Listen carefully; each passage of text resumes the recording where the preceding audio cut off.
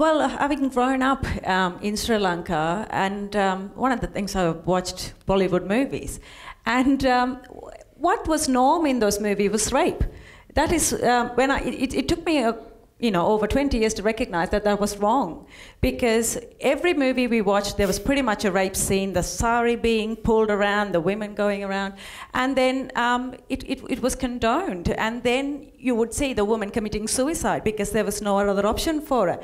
And this is what we've been fed um, as a normal thing to happen because once you've been raped, you need to kill yourself because you're not worthy of living and your family wouldn't accept you and your community wouldn't accept you despite the fact that they know the perpetrators even the enemy was your perpetrator and yet they wouldn't um, accept um, that you've been violated by the enemy, um, you'd rather be dead. And that's one of the things as a female fighter that you constantly faced because I remember being in battles where the enemy soldiers would constantly chase you once they know there were females in the group rather than try to shoot at you.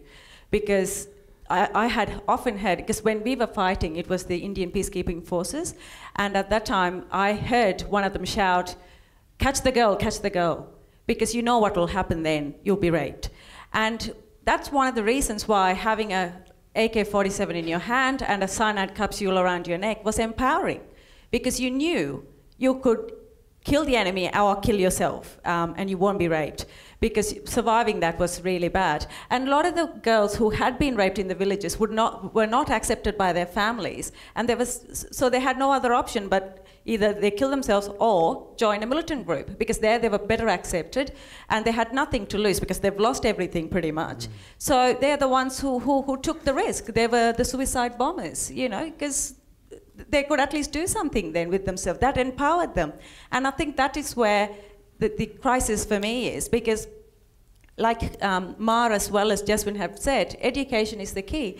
And it's just not the women, because you've got to educate the women to think you're worthy of living, regardless what happens to you. It's not your fault, uh, no matter what anyone says. And you shouldn't um, assess your self worth by what other people think of you. You should know of yourself and believe in yourself. And yet, and also to educate the families, and, and I think it has to start from a very young age, um, the men as well, because to think, um, you know, that a raped woman's not worthy of living, that's just terrible.